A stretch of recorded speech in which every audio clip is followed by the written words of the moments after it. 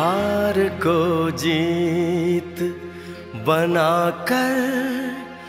बड़े सच्चाई से